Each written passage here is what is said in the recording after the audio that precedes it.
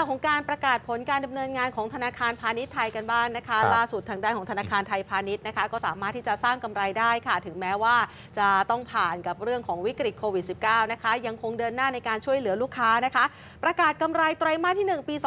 2565 อยู่ที่ 1193 ล้านบาทค่ะ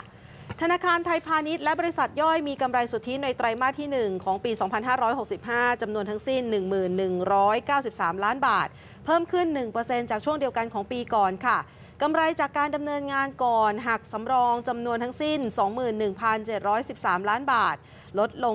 4.1%จากช่วงเดียวกันของปีก่อน รายได้ดอกเบี้ยสุทธิอยู่ที่ 24,744 ล้านบาท เพิ่มขึ้น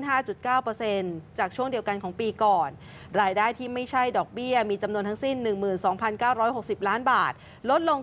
9.9%จากช่วงเดียวกันของปีก่อนค่ะส่วนทางด้านของค่าใช้จ่ายในการดำเนินงานนะคะอยู่ที่ 15,990 ล้านบาทเพิ่มขึ้นึ้น 5.9%ธนาคารได้ตั้งสำรองในไตรมาสที่ 1 ของปี 2565 จำนวนทั้งสิ้น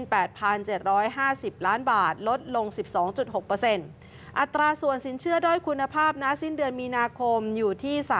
3.7%อัตราส่วนหนี้สงสัยจะศูนย์ต่อสินเชื่อด้อยคุณภาพของธนาคารยังอยู่ในระดับสูงที่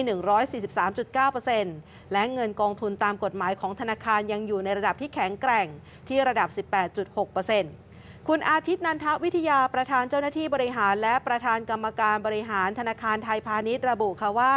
ผลการดำเนินงานของธนาคารในไตรมาสแรก สะท้อนถึงการฟื้นตัวของเศรษฐกิจไทย ที่โดยรวมนั้นยังคงเปราะบาง และมีความแตกต่างในแต่ละภาคส่วนท่ามกลางสภาวะแวดล้อมทางธุรกิจ ที่มีความท้าทายและมีความผันผวนอย่างต่อเนื่อง